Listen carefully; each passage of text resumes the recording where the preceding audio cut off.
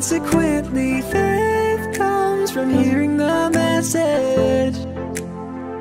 And the message is heard through the word, through the word of Christ.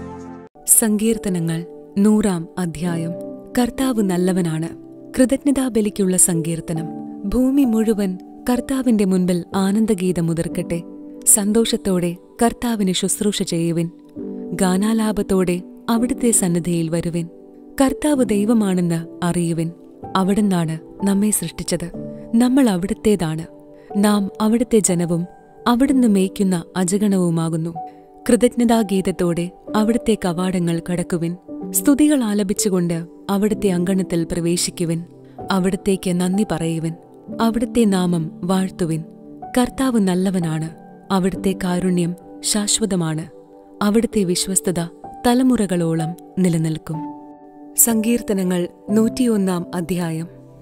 രാജാവിന്റെ പ്രതിജ്ഞ ദാവീദിന്റെ സങ്കീർത്തനം. ഞാൻ കരുണയെയും നീതിയെയും കുറിച്ച് പാടും. കർത്താവെ ഞാൻ അങ്ങേക്ക് കീർത്തനമാലപിക്കും. നിഷ്കളങ്ക മാർഗത്തിൽ ചരിക്കാൻ ഞാൻ ശ്രദ്ധ വയ്ക്കും. എപ്പോഴാണ് അങ്ങ് എന്റെ അടുക്കൽ വരിക? ഞാൻ എന്റെ ഭവനത്തിൽ പരമാർത്ഥ ഹൃദയത്തോടെ വ്യാപരിക്കും. നീചമായ ഒന്നിലും ഞാൻ കണ്ണുവെക്കുകയില്ല വഴിപിഴച്ചവരുടെ പ്രവൃത്തി ഞാൻ വെറുക്കുന്നു. അതിന്റെ പിടിയിൽ ഞാൻ അകപ്പെടുകയില്ല. ഹൃദയവക്രത എന്നെ തേണ്ടുകയില്ല. ഒരു തിന്മയും ഞാൻ അറിയുകയില്ല. അയൽക്കാരനെതിരെ ഏഷണി പറയുന്നവനെ ഞാൻ നശിപ്പിക്കും. അഹങ്കാരിയെയും ഗർവിഷ്ഠനെയും ഞാൻ പൊറുപ്പിക്കുകയില്ല. ദേശത്തുള്ള വിശ്വസ്തരെ ഞാൻ പ്രീതിയോടെ വീക്ഷിക്കും. അവർ എന്നോടൊത്തു വസിക്കും. നിഷ്കളങ്ക മാർഗത്തിൽ ചരിക്കുന്നവൻ എന്റെ സേവകനായിരിക്കും. വഞ്ചന ചെയ്യുന്ന ഒരുവനും എന്റെ ഭവനത്തിൽ വസിക്കുകയില്ല. നുണ പറയുന്ന ഒരുവനും എന്റെ സന്നിധിയിൽ തുടരാനാവുകയില്ല. ദേശത്തെ ദുഷ്കർമ്മികളെ പ്രഭാതം തോറും ഞാൻ നിഗ്രഹിക്കും.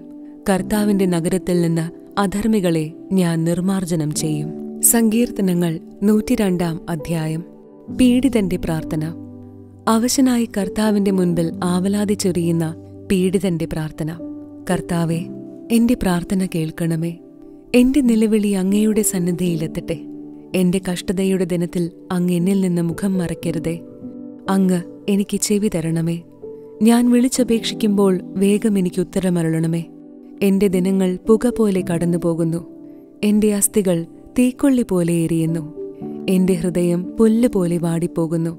ഞാൻ ആഹാരം കഴിക്കാൻ മറന്നുപോകുന്നു. കരഞ്ഞ് കരഞ്ഞ് ഞാൻ എല്ലും തോലുമായി. ഞാൻ മരുഭൂമിയിലെ വേഴാമ്പൽ പോലെയാണ്.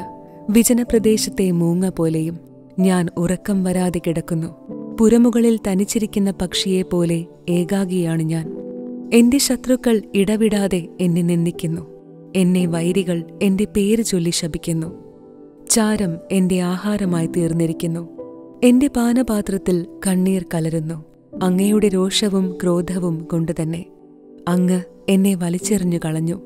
സായാഹ്നത്തിലെ നിഴൽ പോലെ എന്റെ ദിനങ്ങൾ കടന്നുപോകുന്നു. പുല്ല് പോലെ ഞാൻ വാടിക്കരിഞ്ഞു പോകുന്നു.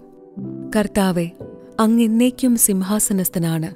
അങ്ങയുടെ നാമം തലമുറകളോളം നിലനിൽക്കുന്നു. അവിടുന്ന് എഴുന്നേറ്റ് സിയോനോട് കരുണ കാണിക്കും. അവളോട് കൃപ കാണിക്കേണ്ട കാലമാണിത്. നിശ്ചയിക്കപ്പെട്ട സമയം വന്നു ചേർന്നിരിക്കുന്നു. അങ്ങയുടെ ദാസർക്ക് അവളുടെ കല്ലുകൾ പ്രിയപ്പെട്ടവയാണ്. അവർക്ക് അവളുടെ ധൂളിയോട് അലിവ് തോന്നുന്നു. ജനതകൾ കർത്താവിന്റെ നാമത്തെ ഭയപ്പെടും. ഭൂമിയിലെ രാജാക്കന്മാർ അങ്ങയുടെ മഹത്വത്തെയും കർത്താവ് സിയോനെ പണിതുയർത്തും അവിടുന്ന് തന്റെ മഹത്വത്തിൽ പ്രത്യക്ഷപ്പെടും. അഗതികളുടെ പ്രാർത്ഥന അവിടുന്ന് പരിഗണിക്കും. അവരുടെ യാചനകൾ നിരസിക്കുകയില്ല. ഭാവി തലമുറയ്ക്ക് വേണ്ടി ഇനിയും ജനിച്ചിട്ടില്ലാത്ത ജനം അവിടുത്തെ സ്തുതിക്കാൻ വേണ്ടി ഇത് ആലേഖനം ചെയ്യപ്പെടട്ടെ. തടവുകാരുടെ ഞരക്കം കേൾക്കാനും മരണത്തിന് വിധിക്കപ്പെട്ടവരെ സ്വതന്ത്രരാക്കാനും വേണ്ടി അവിടുന്ന് തന്റെ വിശുദ്ധ മന്ദിരത്തിൽ നിന്ന് താഴേക്ക് നോക്കി. സ്വർഗത്തിൽ നിന്ന് കർത്താവ് ഭൂമിയെ നോക്കി. ജനതകളും രാജ്യങ്ങളും ഒരുമിച്ചു വന്ന് കർത്താവിനെ ആരാധിക്കുമ്പോൾ സിയോനിൽ കർത്താവിന്റെ നാമവും ജെറുസലേമിൽ അവിടുത്തെ സ്തുതിയും പ്രഘോഷിക്കപ്പെടാൻ വേണ്ടി തന്നെ അവിടുന്ന് ആയുസിന്റെ മധ്യത്തിൽ വെച്ച് തന്നെ എന്റെ ശക്തി തകർത്തു. അവിടുന്ന് എന്റെ ദിനങ്ങൾ വെട്ടിച്ചുരുക്കി. വത്സരങ്ങൾക്ക് അറുതിയില്ലാത്തവനായ എന്റെ ദൈവമേ എന്റെ ആയുസിന്റെ മധ്യത്തിൽ വെച്ച് എന്നെ എടുക്കരുതേ എന്ന് ഞാൻ യാചിക്കുന്നു. പണ്ട് അവിടുന്ന് ഭൂമിക്ക് അടിസ്ഥാനമിട്ടു. ആകാശം അങ്ങയുടെ കരവേലയാണ്. അവ നശിച്ചു പോകും. എന്നാൽ അങ്ങ് നിലനിൽക്കും. അവയെല്ലാം വസ്ത്രം പോലെ പഴകിപ്പോകും. ഉടുപ്പ് മാറുന്നതുപോലെ അങ്ങ് അവയെ മാറ്റും. അവ കടന്നുപോവുകയും ചെയ്യും. എന്നാൽ അങ്ങേക്കു മാറ്റമില്ല. അങ്ങയുടെ സംവത്സരങ്ങൾക്ക് അവസാനമില്ല.